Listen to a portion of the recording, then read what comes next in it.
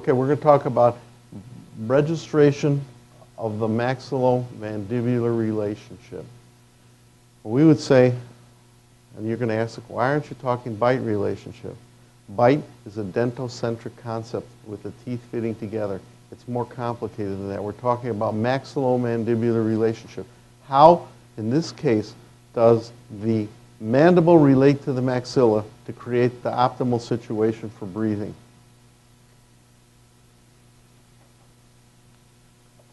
So, okay, disclaimer, here's a story. You all know uh, the Moses is my invention, my appliance. What you may not know is we're going to use Moses bite shims, which is uh, invented by Gloria as well. I just took all the credit with my name. But um, we invented these to take the bite. And so if you uh, use the Moses or bite shims, we get royalties, and that's the disclaimer. Doesn't mean you shouldn't do it. We're just disclaiming it. Okay, objectives of this part. So we're going to demonstrate that oral appliances for snoring and sleep apnea are just more than mandibular advancement devices. The common term, mandibular advancement devices, not applicable. It is applicable, but there's way more to it than that. Differentiate the concepts of facilitation from inhibition in neurologic function. You're right on that, Lee. You know what I'm talking about already. But the other constant thing is to demonstrate how to register a maxillomandibular relationship of low nociceptive input and a high degree of facilitation. That's what this is about.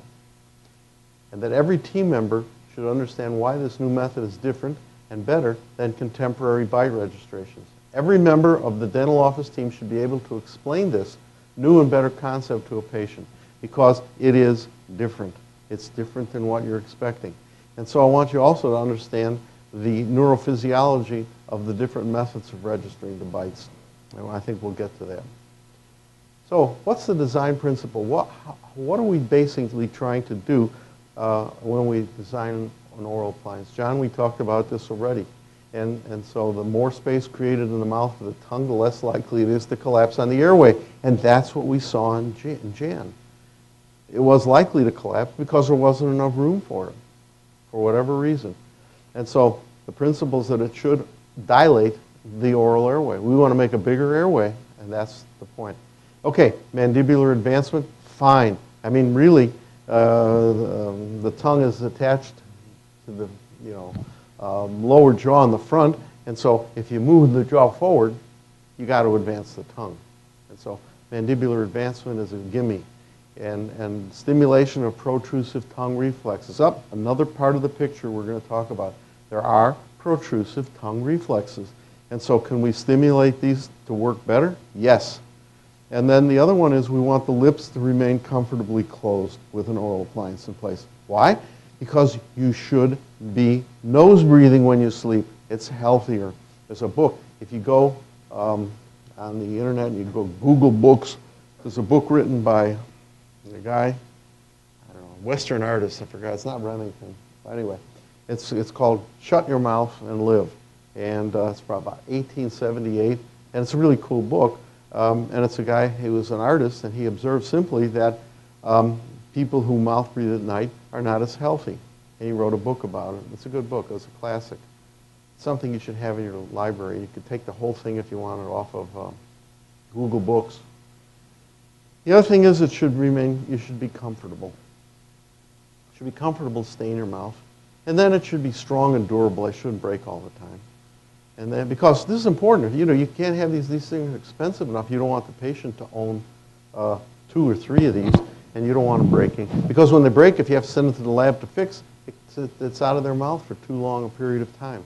And the patient should be able to speak, swallow, and take a drink of water with the appliance. And this is a nice characteristic if you can achieve it, and I think we do. Okay, so let's look at mandibular advancement devices. Here's a mandibular advancement device. Here's a mandibular advancement device. Maybe this is this one. And then here's another one. So, okay, but this is an oral airway dilator. How is an oral airway dilator different from a mandibular advancement device? Okay, so here's the story. This actually is me. Whoa, excuse me. This is me. No appliance, lips together, teeth slightly apart, tongue in the roof of the mouth. So you have the back of the sinuses, maxillary sinus, back of the nose, and here's the airway. This is the oral pharynx here. And so here's the teeth you can see in the background. Where it's a, it's a, this is a picture we took with an iCat, and it's using the software that comes with the iCat called 3DVR. It's really, it's, it's, it's, it's almost obsolete. They, they're, they're not even, they're ashamed that it's in there. They're not bragging about it. But to me, this picture is worth a thousand and then some words. So here's the second picture. And with the second picture here, the appliance is in place. The teeth are in the appliance. The lips are together and the tongue is in the roof of the mouth. Look at the difference. That's oral airway dilation. That's what it's about. That's critical. I can't see that if you had a CPAP blowing pressure in, that you're going to expect any more from that CPAP than you get from this. And so that's what oral airway dilation is about. You get oral airway dilation with this appliance, the Moses appliance, and I don't see anybody else claiming oral airway dilation or showing you anything that visible or visual. That's what it is. Okay. So, what's the role of the oral airway dilator in treating obstructive sleep apnea? Enlarge and change the shape of the oropharyngeal airway. And when we do that, we change the head and neck posture relative to the spinal column. There's literature is replete with studies. I know you know these, DeWitt. And that if you change the head posture, you, you change the bite, they stand up straighter. You put an orthotic in the mouth, if it's the right orthotic, they stand up straighter. And so uh, raise the habitual position of the hyoid bone relative to the cranial base. Yes, because when you have these, a lot of times you'll see patients with this, this double chin, we, my grandmother called it. And, and we have the double chin. What's the double chin? Yes, it's fat. How come you see this double chin on people who aren't fat? Because it's the tongue down there. The tongue doesn't belong down there. But the tongue has to go someplace, and this is nice soft tissue. And so this is the tongue. And so when you change the position of the hyoid bone, you bring it up, you get rid of that. And if you don't believe it, just look at the guy next to you who's got it, and you say, bring your jaw forward, and then boom, it disappears. So change the axis of muscular support of the tongue, we talked about that, and oral orthopedic dilation of pharyngeal musculature, that was the last picture you saw. Okay, so uh, here's another picture. This is anatomage. So today when you buy an iCat, if you buy an iCat, if you care to buy an iCat, um, this is the kind of picture you can generate in half the time with the 3D VR. And so what this picture shows is total volume, which is irrelevant because it's very hard to get the same two points on the airway, top and bottom. But what's more important is it will figure it for you, just because it's capable of doing it, the minimum area. And so if you take a picture and you, like this here, and then you take a picture like you see on the right, you see that the difference between the airway on the left and the right is that we double the airway size and then some in this picture here. Okay, now, what's interesting about these two pictures is, is that really this is an open situation. And so here's a patient in my office. Why am I sharing this with you? Because the patient came in and they weren't doing so well. And I look, I go, wait a minute, just a second, I think the laboratory gave me the wrong bite. And so I thought, well, let's take a new bite, and let's take the new bite using manual muscle testing, which I'll show you. And when I did, you can see that in this picture here, we got more protrusion. But look at the effect. It's not always vertical, but look at the effect here from the little bit of protrusion. Look at what we did to the airway size. And so it's nice to have this information. Okay, Am I telling anybody, does anybody, I don't mean to imply that you have to run out and buy an iCat. Now listen, it's good. It's good information. I love it. I'm glad I have it. But here's the story. When you get a referral from a physician, and that physician says, Dr. Keller, make this patient an oral airway dilator, make this patient an oral appliance. What are you going to say? No, I'm sorry, I don't think this patient's right. You're going to make the appliance the more information, you got to be careful. You don't want to talk yourself or the patient out of it. You want to make it. Because you can't make the diagnosis. They made the diagnosis, and the diagnose, part of their diagnosis is the treatment recommendation, and there's a reason why uh, they think you need it, and it, you don't want to talk the patient out of it. What you need is good records so that if it's a potential jaw problem, they don't come back and say, yeah, you know, when you made this, Dr. Keller, my jaws felt fine. You created a jaw problem. That's why you need good records. And, and you know, Dr. Keller, you didn't really enlarge my airway. That's not the case.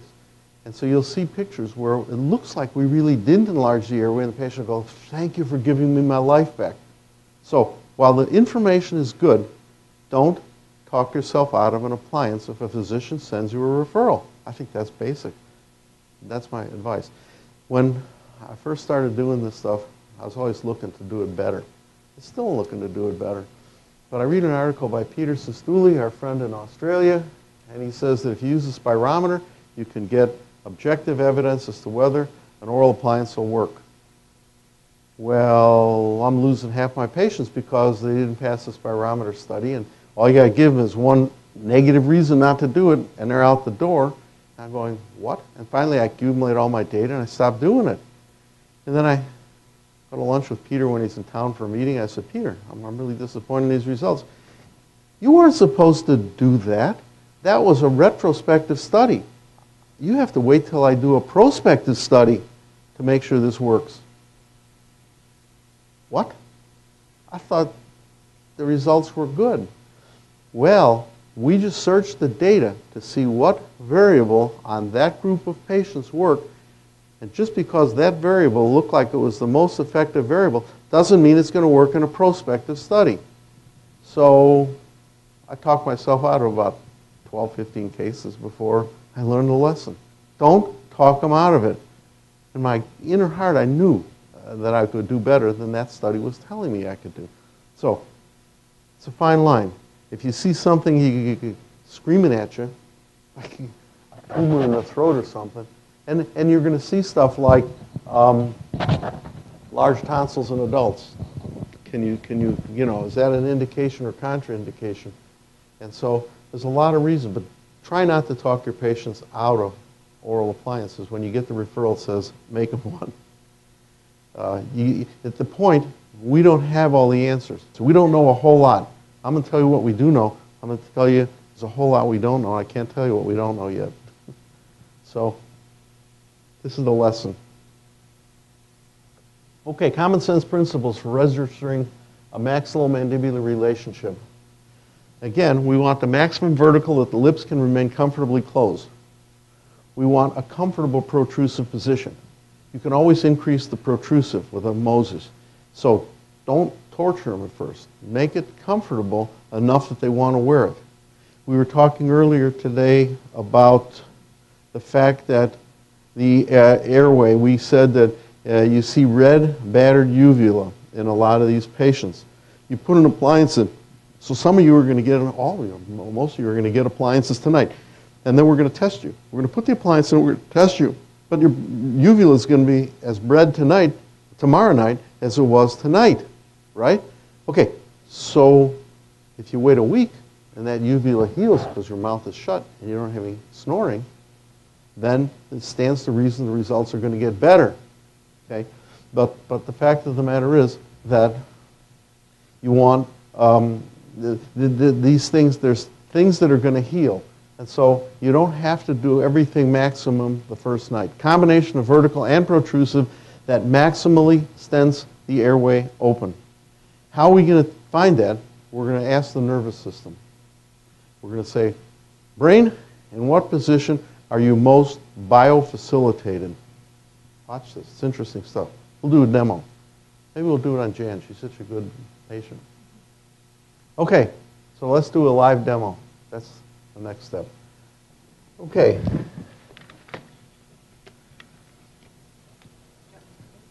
No. I'd like you to stay standing. Thank you. That's a very important.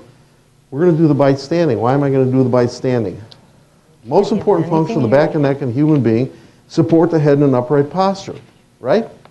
So if you're sitting, you're slouching, you're slouching, you're sitting on your hands, even you're slouching with, you're slouching, you got a hand up there. Nobody's sitting up straight. Okay, that's the reason I take it standing up. Because there's a better chance you're not, you're not even sitting.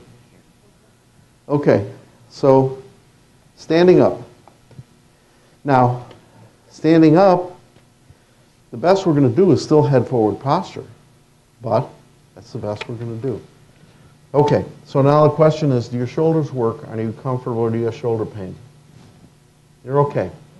Okay, so I want you to hold your hand up here like this, and I'm going to push down and you're going to, you have chewing gum in? Okay. So I'm going to push down and you're going to resist, but stand up straight as you can, and then I want lips together, teeth apart, tongue in the roof of the mouth. Okay, ready? Resist. Okay, now, she's pretty strong. Now what I'd like you to do is clench on your back teeth, okay? And resist again. Ready? If that looked like that was mush, it felt like mush, right?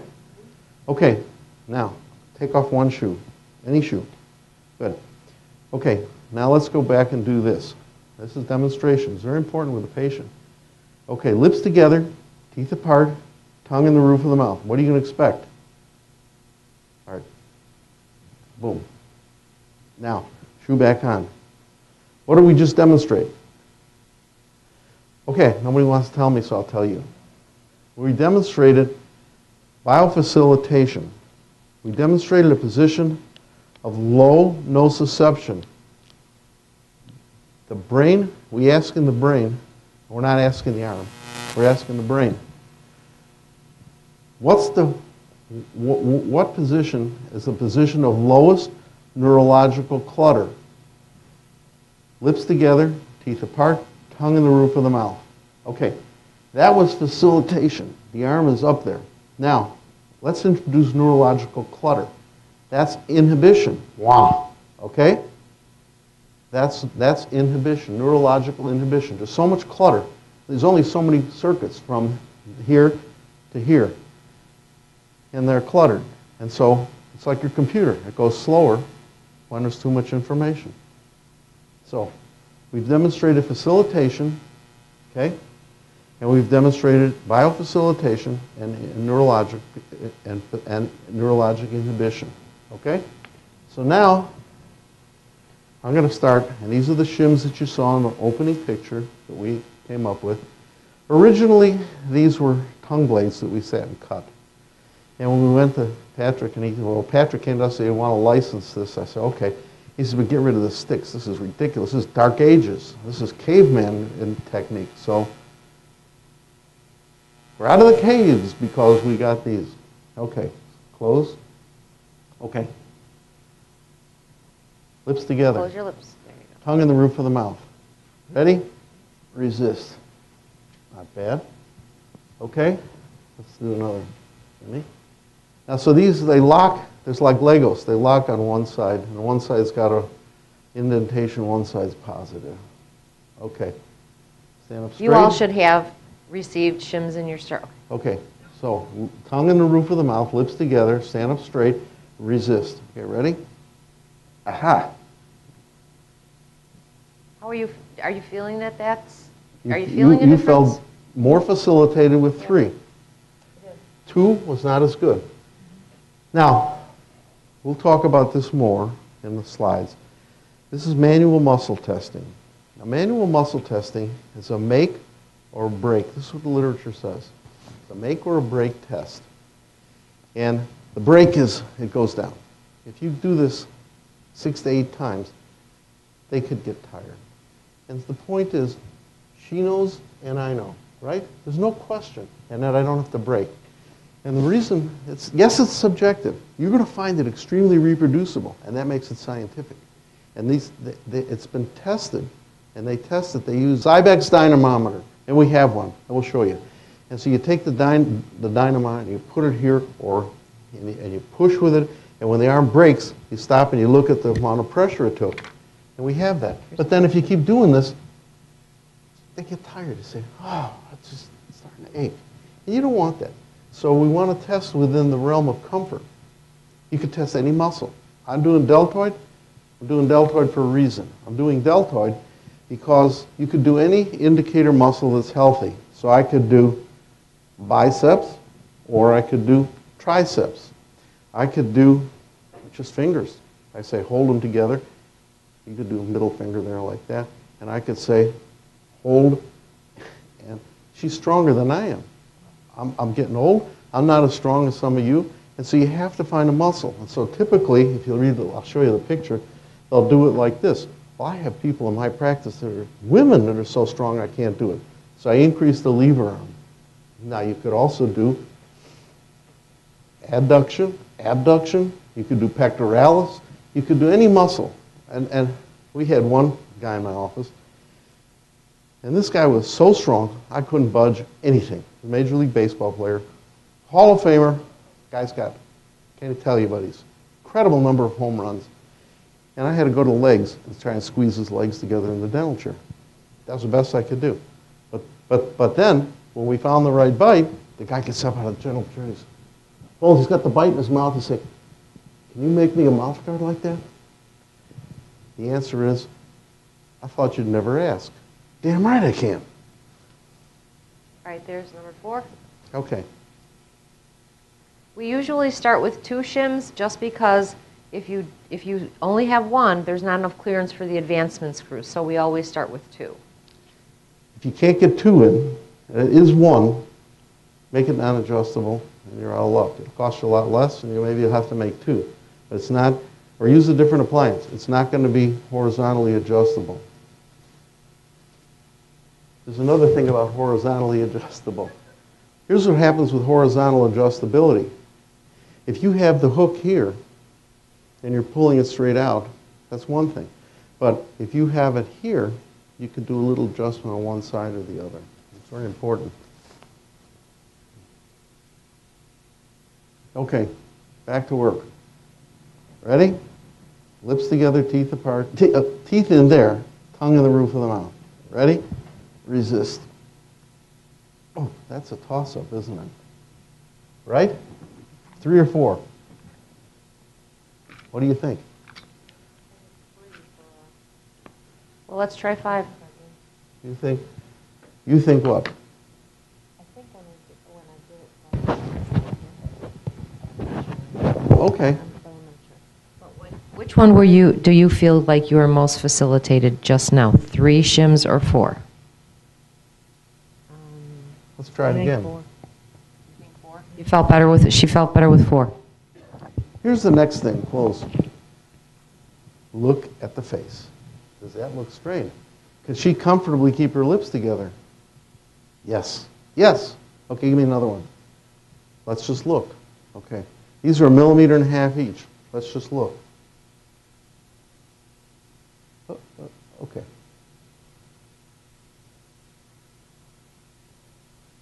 What do you think? Is that a strain? Okay. She says she's strained, she's strained. I would take that on a lot of patients, though. I don't think that's terribly strained. And so we're going to do bites, and we're going to look at each other. And I want you to look at the guy next to you. So, but the point is, Do you when want you... to muscle test her on this one or not? Sure. Are you ready? Lips together, tongue in the roof of the mouth. Ready? Resist. Oh, not there, right? Okay. Five. So I'm comfortable with four, but now we let's let's do it. Um, I want to show you do two different ways too. Okay. So Do you need a little drying or no? Okay. So,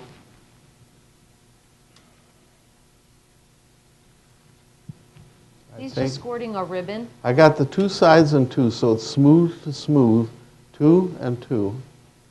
Okay. Close. Okay. So we let that set. And then she can go any which way, this way, this way, this way. And so when that's set, we're going to do this again.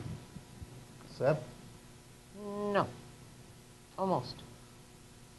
You know, once in a while we luck out, so Henry Schein sent me the material to do for the um, Boston sleep meeting. So we went to Boston, we're using the Henry Schein material, except it was slow, you were there, slow set. And I'm telling you, I'm just doing a song and a dance here, waiting for the dance stuff to set. There's not enough conversation you can make. Right, And I good. can't be that charming to talk for two and a half minutes. Okay. Let's go move what you think is a millimeter to the right of midline, mandible to the right, one millimeter. Okay. Ready? Resist. Oh, mouth to the left. Ready? Resist. Okay, now find your midline. Find your midline and protrude as much as you comfortably can. Okay, ready? Okay. Hold it. Just hold it there. Don't move your jaws at all. Now, here's what I'm going to do. Watch this. I'm going to just put this, her, her case, in the molar area. I'm probably not even getting it back as far as I could. Okay. I didn't connect the two, but I'm also going to make, now close your lips, a little template in the front. Okay, so here's the plan.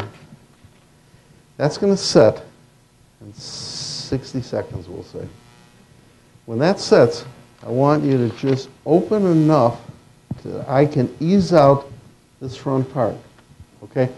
So I'm going to ease out the front part. Then we're going to test. Now listen. Right now, or when we did this, she was biting down with the shims in the front. Okay? Now with the shims in the front, the masseter can contract farther than temporalis. Temporalis can't contract any more than the thickness of those shims, right? Okay. So what I want to do is I want to test is she masseter dominant or is she temporalis dominant? Maybe she's better off with a temporalis dominant bite. Maybe she's better off with a masseter dominant bite. So now what I'm going to do is separate your lips. Open just enough for me to ease this out. Good. Open just enough to ease it out. That's all right. It, it, I didn't do such a good job of easing it out, but there it is. Now bite down. Got it? Mm-hmm. Okay. So, Nothing in your hand. ready? I'll get it back in a minute. Lips together, tongue on the roof of the mouth. Matter of fact, tongue to your lips. Okay, ready? Resist. No, you gotta, you're gonna resist. Okay, ready? Resist. Better. The best, right? Okay. Because she, again, let's look at her. Those are some, some masseters. Look at you. Stand up. Joe, John, stand up.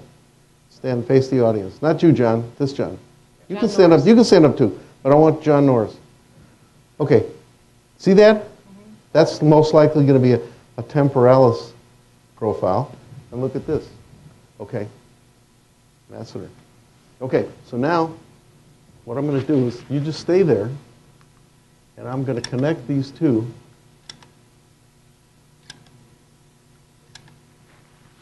And overlap everything. Close your lips. Good job. Okay. That's the bite. If it wasn't perfect, then I would have put the other one, if it wasn't as good, I would have put the other one back in and connected the two bites. Any questions?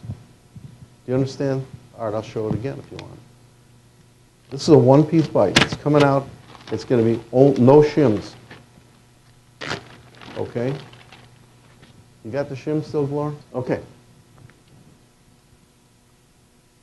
Open. Okay. And before you send these to the lab, cut off all gum, cut off all soft tissue. Only send the lab hard tissue because the soft tissue it's like it's like a soft sponge. It's going to move. And if you try and put this on hard plaster, you, you run the risk of a distortion. It won't go down as easy. Don't let this to the lab to do. Because if you, if, you, if you send something like this to the lab, you'll get it back and they won't be cut. If they cut them, that's fine. But, but you don't take a chance. Trim off all soft tissue. Okay, back to the two. What is that called? So This is Discus Dental Vanilla White Registration. Anyone's good that you We- like. Yeah, whatever. Fastest, the faster the better. We find this is 55 seconds, that's why I like it. And he likes it because it trims without crumbling too. And it bonds when you, when you overlap. Okay, so let's do this. We're back to this first one again. Now, I showed you both bite techniques. That's good. Just let it set. 90% of the time, I'm going to use this one here, not the other one. Because there's two things. When you get this where it's a lock, bam, you could chin yourself on that arm. I call it the lock. When you got a lock, don't mess with the lock. It's right. If you don't feel you got a lock and you're looking, piddle, play around. Go for a lock. I felt closer to the lock with the masseter, with actually, actually with the temporalis dominant bite in your case, because the masseters couldn't contract, right? The rubber base, the, the, the bite registration material stopped the masseters from contracting. The temporalis did contract. She's set. Okay. So now, find the position of, just because we know you can do it, maximum protrusive in the midline. Maximum comfortable protrusive. Okay, let's test it. Okay. Ready? Resist. It's not quite the same as it was on the other bite. Okay, but let's just do it. Here. Okay? Here. And so what I do is, these, these shims have re- re- retentive grooves, and I overlap onto the shims. I try and grab the retentive grooves, and I go as far back as I can, overlap everything, get the grooves, and then close your lips, and that's it. That's the bite. Yes, Richard?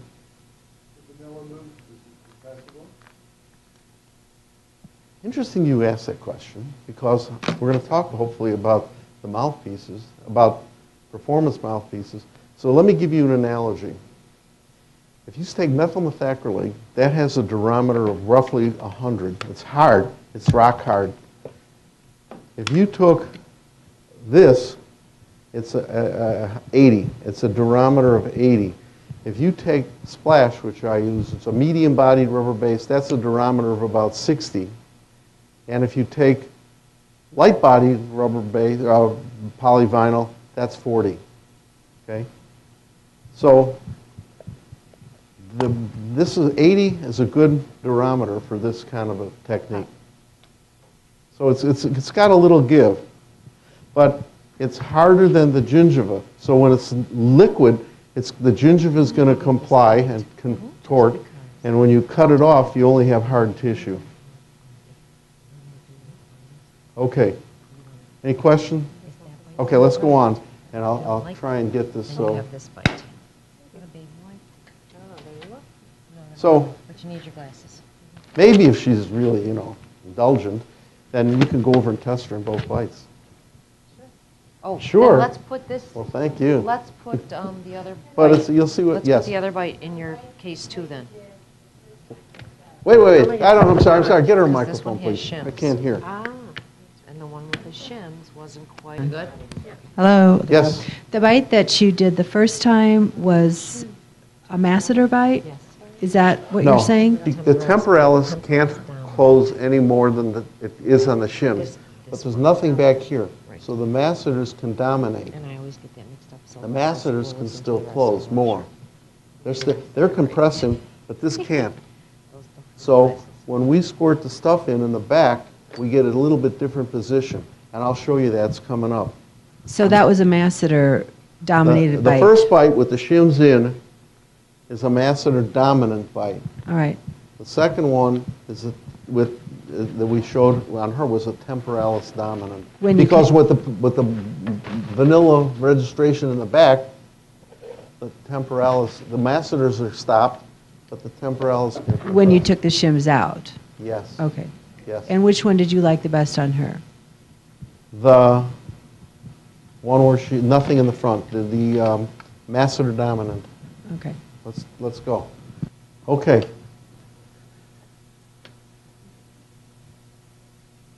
Okay, let's, in human beings, the most important function of the back and neck is support the head in an upright posture. Therefore, as we said, we're doing this upright. We're doing this standing up for that reason. Okay, In an upright human posture, isometric balance is the least stressful position for supporting the head on the spinal column. You have teeth apart, tongue in the roof of the mouth, so your nose breathing. That's as close as we're going to get to biofacilitation. Isometric balance is a position of low nociceptive input to the brain. There's no clutter. Nociception is clutter. Okay.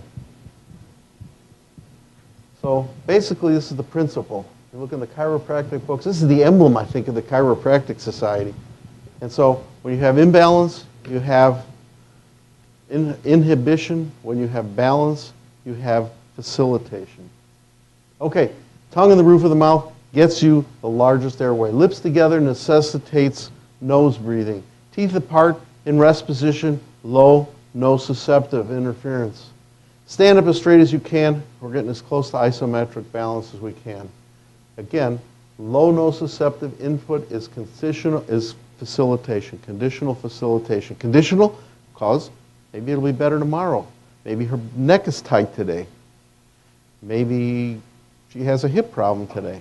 Maybe it could get better. And maybe that's the basis for some of these adjustments. Okay.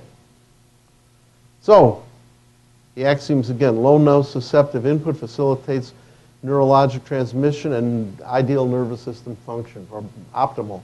Uh, high nociceptive input clutters neurologic transmission and inhibits reflex activity. Nociception, I looked it up in the dictionary.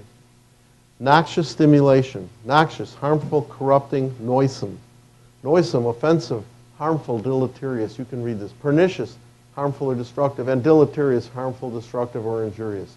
So, nociceptive input is defined as providing neurologic clutter. Today's demonstration, how to register a maxillomandibular relationship of low nociceptive input is one of low neurological clutter and high facilitation. This demonstration did not measure strength or weakness. This demonstration in no way relates to muscle strength. The fact of the matter is that we're testing the same muscle. The same muscle, when it does this and goes down, it didn't get weaker. It's the same muscle, same ADP, same ATP. Different neurological transmission, different neurological input, different nociception. It's the same muscle. We're not testing strength, we're testing how well it functions. Nociception. Okay. Now, we were talking about this, Lee and I, before, I believe. And when you go to the literature, because again, we took this to the next level, we say, can we make a better mouthpiece for athletic performance? And the answer seems to be yes. Uh, not just from me, but the literature is very replete. So I, I mean, you got a big, probably a bigger bibliography than I do. In your book, I think Gloria gave you my bibliography on that. There could be 36, if I'm not mistaken, references to the fact that jaw position affects muscle um, performance. And they actually, in a lot of these, do claim strength. And there's a difference. So that strength for example, weight trainers, when they do this for strength, they uh, make a mouthpiece in optimal facilitation and then do their exercise in that, and then they get stronger. It's not that the mouthpiece makes them stronger, it's the training makes them stronger. Thank you. Okay? The difference. The mouthpiece doesn't, the mouthpiece facilitates neurologic performance. So I think you got to be careful when you make claims, or these people make claims, we make the athlete stronger. I don't think so.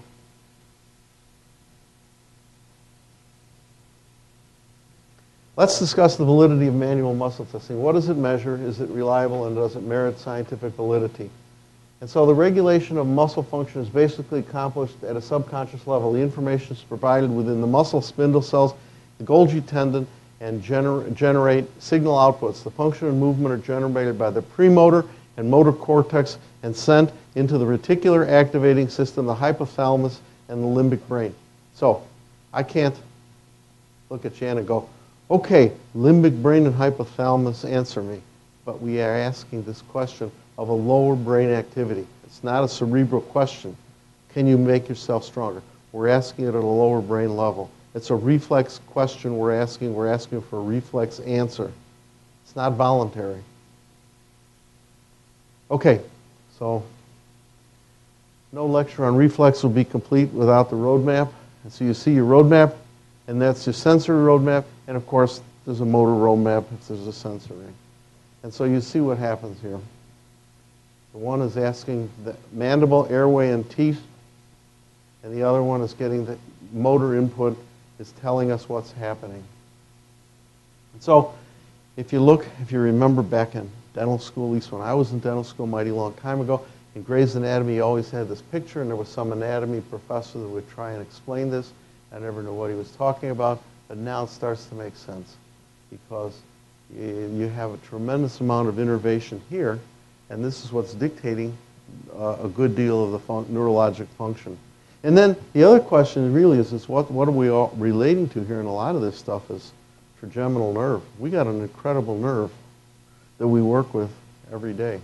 Okay, day, daytime neural control is of airway size is largely under involuntary control. Head posture is affected by airway patency. If you have a mouth breather, they're always going to be head forward. Mouth is open, head forward. Mouth breathers have a more forward head posture than nose breathers. Forward head posture is more stressful on the spinal column than good head posture. The oral airway is smaller in a mouth breather than in a nose breather. And apneic patients have smaller airways during the day than non-apneic patients.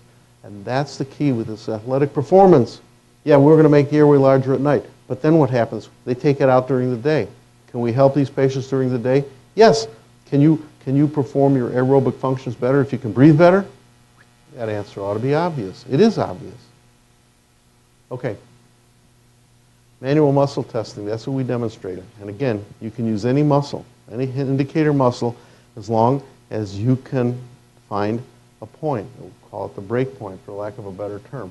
Manual muscle testing is utilized to determine an effective therapeutic starting position for oral sleep appliances. We're asking the brain to help us at a reflex level. Manual muscle testing, as described and demonstrated, is identical to standards of muscle testing utilized in physical medicine or disability. So they have this uh, physiatrist, our specialists in physical medicine, and when you have a physiatrist, they can do a disability examination on any muscle, and that's what they use. This is not mystical. This is not unique to chiropractic or dentistry.